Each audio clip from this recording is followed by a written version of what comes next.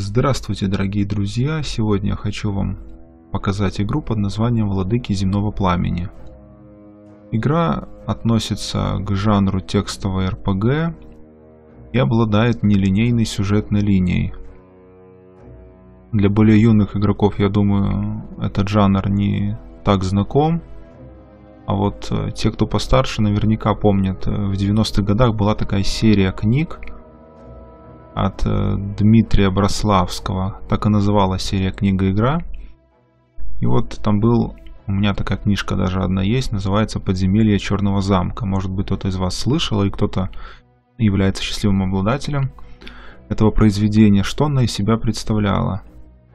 То есть мы имели книгу на фэнтезийную тематику, вот, и мы должны были ее, ну, не то чтобы пройти, но, по крайней мере, дочитать до конца. У книги было множество концовок, по большей части не очень хороших.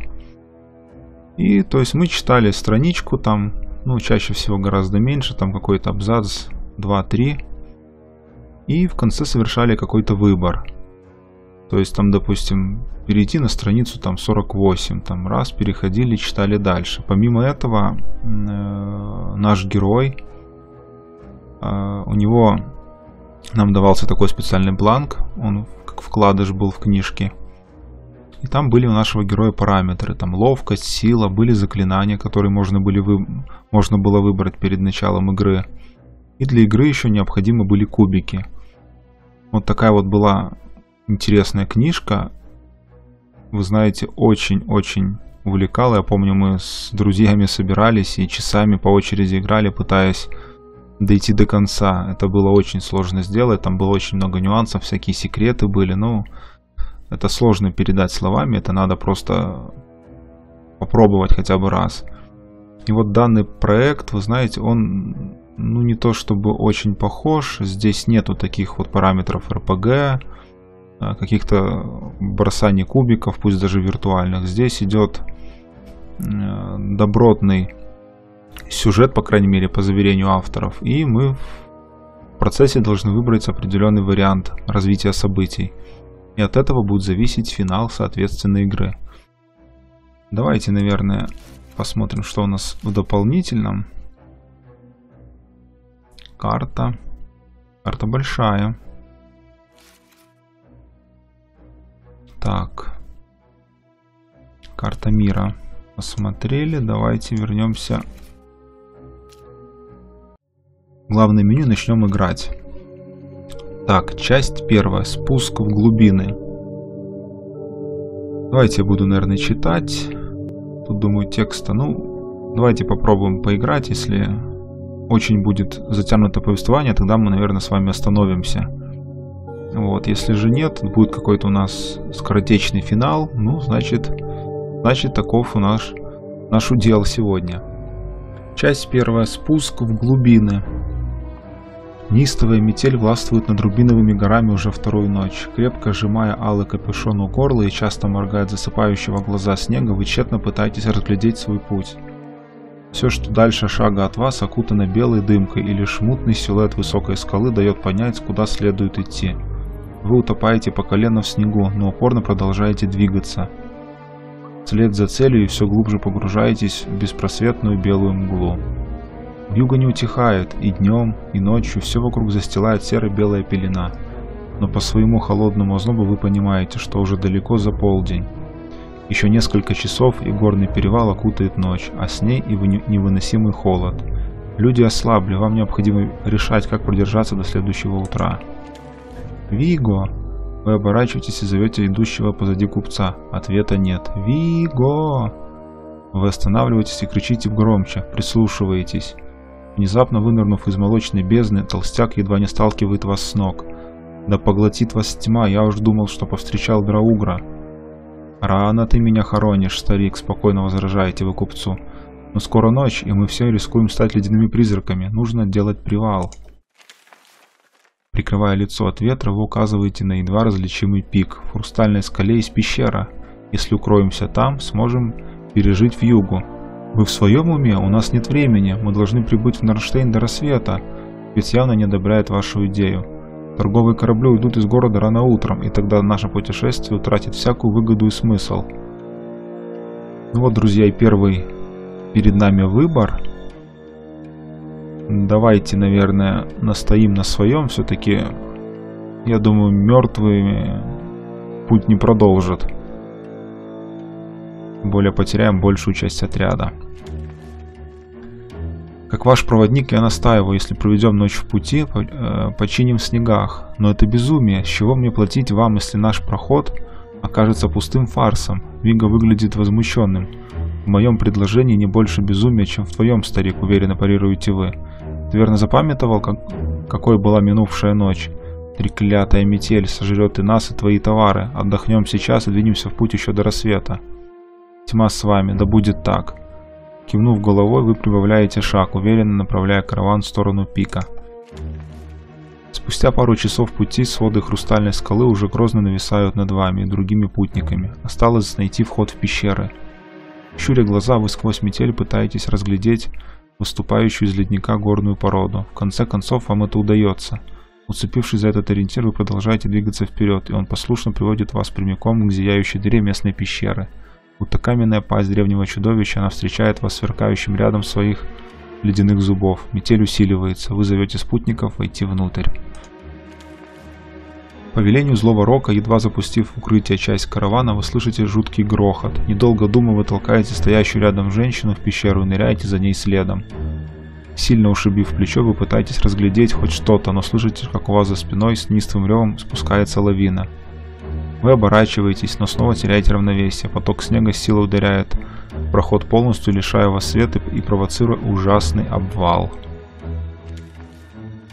Опомнившись, вы понимаете, что пролежали на земле больше часа. Голова и плечо ужасно болят, лавина снаружи давно утихла, и лишь тяжелое дыхание и стоны выживших нарушают покой этого темного места. «Цедрик, отзовись, ты здесь?» Неуклюже вставая, вы удивляетесь звучанию собственного голоса. «Да, но я определенно хотел бы быть в другом месте, вяло», отзывается, отзывается вам наемник из Тосканы. «Ты в порядке?» «Могло быть лучше. Боль в затылке заставляет вас скривиться. Где твой конь? Помнится, в твоей поклаже была мясно... масляная лампа. Он здесь, я пустил его в пещеру вперед себя. Тут жук?» Цедрик издает негромкий свист. Вы слышите, как в шагах в десяти от вас заржал конь.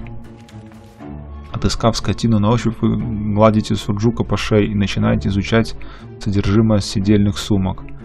Найдя то, что искали, вы садитесь на землю, достав огни, вы начинаете высекать огонь.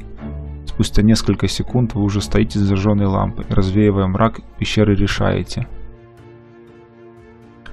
Так, подсчитать припасы, изучить пещеру, помочь раненым. Давайте поможем раненым. Пройдя всех выживших, вы с облегчением отмечаете, что большинство из них отделались лишь небольшими ссадинами и ушибами, однако Герда, девушке, которую вы спасли, каменем придавила ногу. Применив рычаг, чтобы сбросить камень, вы выправляете, вправляете лодыжку и приказываете не нагружать ногу как можно дольше. Девушка отвечает вам благодарностью, милой улыбкой. Только сейчас вы замечаете, как ее атлас, атласные, атласные волосы переливаются в свете лампы, не спадая к плечам волнами золотых прядей. Ее полные губы повлекут к себе подобно спелым заморским фруктам, а изумрудные глаза сияют девственной чистотой. Впечатленные красотой северянки, вы невольно улыбаетесь ей в ответ. На вас доносится чей-то спор, вы вспоминаете, что все еще не, прос... не осмотрели припасы. И питая излишнего оптимизма, вы всматриваетесь вы осматриваете те скудные пожитки, что вам удалось спасти. Одна бочка с маслом и одна с водой. Немного фруктов и солонины. Вы понимаете, что этого слишком мало, чтобы дожить до спасения. С другой стороны, вы сомневаетесь, что спасение придет вообще. Пройдя в дальний конец пещеры, вы наконец находите Виго, пустым взглядом уставившегося в стену и, глядя... и гладящего свои щегольские усы. Его кафтан изрядно потрепан. Волосы цвета сухой соломы уже не украшают купеческая шляпа, обнажая сверкающую на свету плешь. На свету плешь. Я осмотрел припасы, старик, вы проводите лампы перед его лицом. Почти все унесла лавина. Еды, в лучшем случае, хватит на три дня. Не представляю, как нам удастся выжить. Вы нас сюда завели, вам и искать выход. Справедливо, но я не думаю, что тем, кто был снаружи, повезло больше. Бросив мрачный взгляд на купца, вы ушли, оставив его в покое. Вы экономили провизию как, можно, как могли. Спустя примерно 6 дней запасы иссякли полностью. Чтобы не умереть от жажды, топили снег и лед. Люди начинали сходить с ума. Уже зарятся на коня Седрика. Вы тоже голодны и понимаете, к чему это ведет. М-м-м. Жалко коня. Может быть, конь потом поможет как-то выбраться каким-то образом или куда-то, допустим, до города быстрее добраться. Давайте попробуем толпу усмирить. Положив руку на меч, вы принимаете сторону Седрика. Вы не допустите подобного варварства. Никто не тронет коня в вашем присутствии. На время поиска альтернативного решения вы объявляете строгий пост. Спустя неделю решение так и не пришло. Сегодня ночью Седрику перерезали глотку, его тощего коня убили. Лысый здоровяк Герберт выпотрошил обоих. Скоро начнется трапеза. Вам очень хочется есть. Кривя душой, вы вынуждены присоединиться.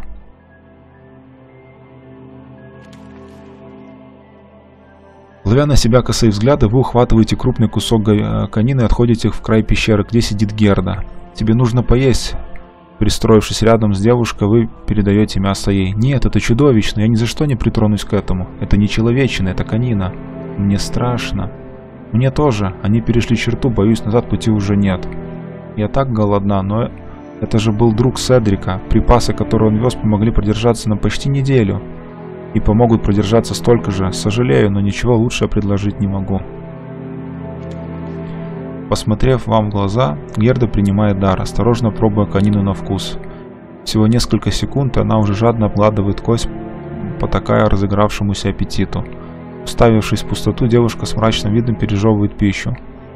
Поднеся руку к ее лицу, вы аккуратно стираете кровь снежных, как бархат губ. Вздрогнув, она замирает. Ваши взгляды сплетаются воедино.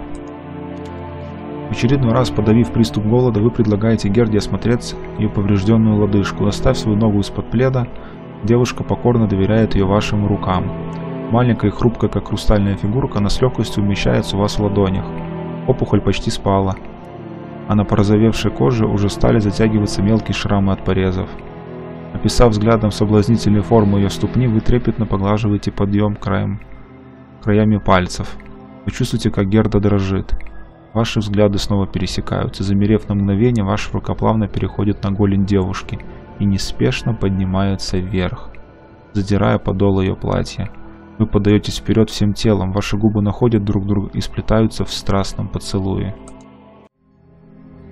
Проведя с Гердой всю ночь, вы просыпаетесь от ее пронзительного крика. Двое ублюдков, вырывая девушку из ваших объятий. Прежде чем вы успеваете что-либо предпринять, вашу грудь пронзает лезвие мясного топора Герберта. Заклебывая собственной кровью, услышите протяжные стоны и крики Герды. Проклятие. Ее съедят, ее обязательно съедят. Но сначала удовлетворят свои другие низ низменные инстинкты. В глазах темнеет, вы чувствуете, как силы покидают вас, увлекая в черное небытие. Конец. Да, друзья. Конец у нас получился довольно скоротечным. Давайте вернемся на главный экран. Главное меню. Ну вот, я, наверное, больше не буду начинать. Я думаю, вы э, увидели, что из себя представляет игра. Если вам понравилось, ссылочку вы найдете под видео. А на этом у нас все. Всем спасибо за просмотр и до новых встреч.